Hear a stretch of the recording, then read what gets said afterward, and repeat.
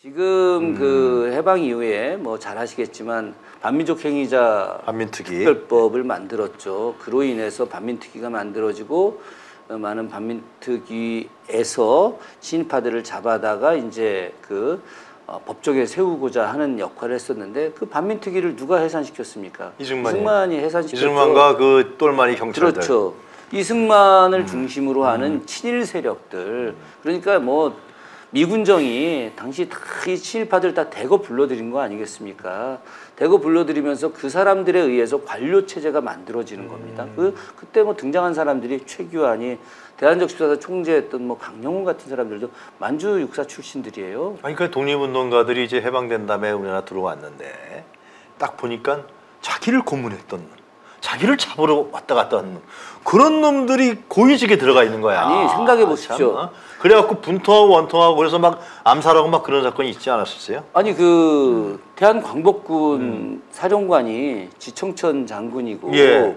그리고 그 부사령관 형식이 약상 김원봉이었거든요. 아, 김원봉 선생이죠. 근데 예. 실질적으로 대한민국 입시정부의 좌우합작. 운동을 한 거 아닙니까? 음. 좌우합작 운동을 음. 백범이 그래 대단한 거예요. 네. 좌우합작 음. 운동을 하고 약상 김원봉을 끌어들여서 약상 김원봉이 재혼할 때 주례를 백범이 서줘요.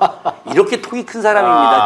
지금처럼 이런 쪼존한 정치 안 해요. 좌우 홍범도 장군 같은 분들 높이 현양해야 되는 거죠. 왜? 백범이 좌우합작 운동을 한 사람입니다. 지극히 반공주의자였던 이 사람이 음. 그런 당시에 나라의 독립을 위해서. 그럼요. 해방을 그 위해서 한 거지. 김원봉이 돌아와서 정말 그 밀양에서 고향이 밀양이었는데 엄청난 예우를 받았거든요. 음. 그리고 나라에 큰일 할 사람이었는데 아니 이 사람이 갑자기 빨갱이 뭐 죄 이런 걸로 끌려가고 친일 악질 경찰 노덕술한테 끌려간 거 아닙니까? 맞아요. 유명한 일합니다. 그래서 노덕술한테 따귀를 맞았잖아요. 따귀를. 맞아요. 그래서 약산 김원봉이 고향으로 돌아와서 일주일을 펑펑 울은 거죠.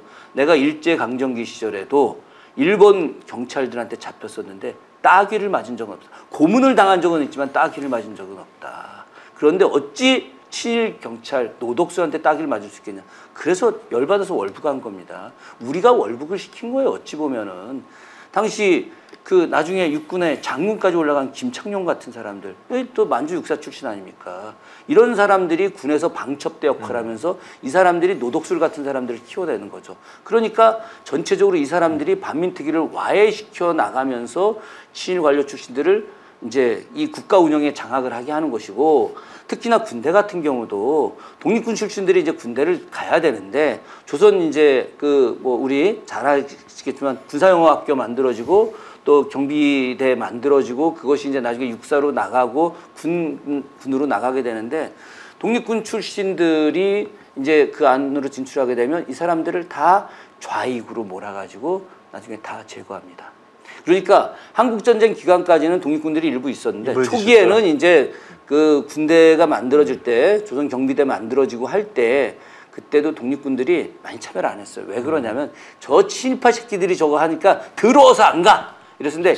이 독립군들의 순수성이 어찌 보면은 잘못 판단을 했을 수도 있었던 거예요. 그런데 그리고 나서도 어쨌든 많이 들어갔는데 대한민국 군대에서 우리 독립군 출신들을 갖다 다 좌익으로 몰아서 거의 대부분 감옥에 보내거나 내쫓아 버립니다. 그래서 대한민국 군대가 너무나 안타깝지만 친일파 출신들에 의해서 장악이 된 거고 거기- 오늘날 이 꼴이 난 거예요. 거기 핵심 인물이 백선엽입니까? 백선엽이죠. 예. 백선엽. 그 앞에 정일권. 정일관. 예. 정일권, 백선엽이 다 만주군관학교 동기들이에요. 예. 그러니까 정확히 말하면 신경 육군 신, 신경 어, 육군 사관학교 5기. 그런데 그 앞에 봉천까지 치면 봉천이 1기부터 4기까지 있었거든요. 그러니까 만주 육군사관학교로 치면 9기가 되는 거죠, 백선엽이. 근데 이, 이 사람들이 다 군의 핵심 요직을 차지했던 것이고 이 사람들이 다 5.16 군사 쿠데타의 다 주역들입니다. 그러니까 그 박정희를 중심으로 했던 신경 육사 출신들이 거의 다5.16 군사 쿠데타로 나가고 이 사람들에 의해서 대한민국 군대가 완전히 지배되는 거예요.